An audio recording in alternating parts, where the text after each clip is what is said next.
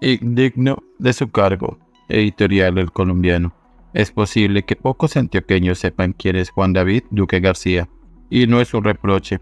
Al fin y al cabo es uno de aquellos personajes que pasan por la administración pública con más pena que gloria, a pesar de que lo honraron con un cargo de gran importancia en la alcaldía de Medellín, un puesto al que muy pocos le dan la oportunidad de llegar, como es ser el secretario privado del alcalde Incluso tuvo el privilegio de ser alcalde encargado. Duque no ha hecho mayor mérito para ser recordado. Pero corresponde hablar de él porque será el protagonista hoy de un hecho histórico.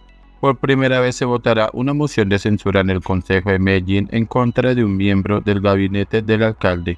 Se trata de un procedimiento que tiene un carácter de indignidad para el citado. Si las dos terceras partes del Consejo llegan a votar en contra suya, deberá renunciar. La alcaldía en tiempos de Quintero ha tenido siempre un grupo de nueve o diez concejales que votan a su favor. Eso no quiere decir que todo esté definido a favor de Duque porque con el reciente cambio de péndulo político no se descarta que los concejales aprovechen la oportunidad de sacudirse y de darle un último mensaje simbólico a la ciudad de que no todo vale.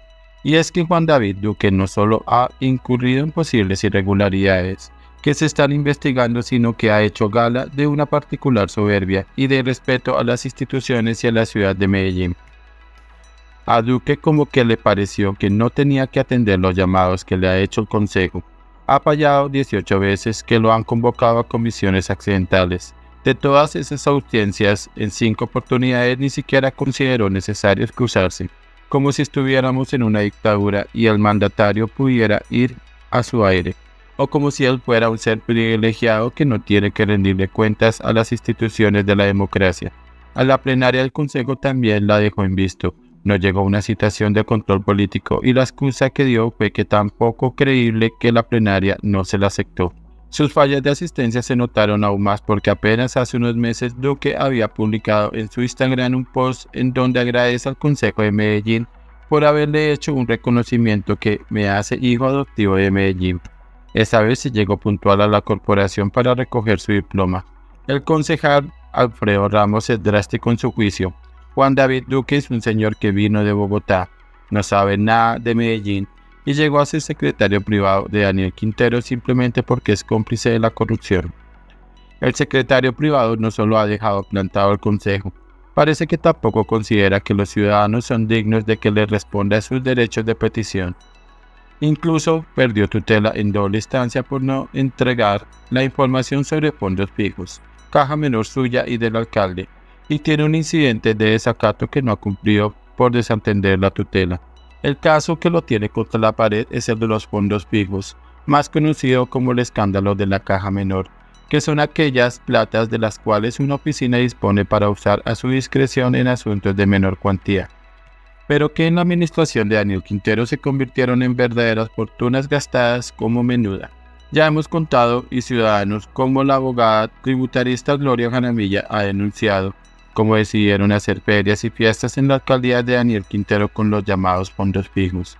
Juan David Duque no solo era responsable de esa caja menor del alcalde, de donde más recursos usaron en gastos extravagantes y aún no suficientemente sustentados, sino que también tenía una caja menor en su secretaría.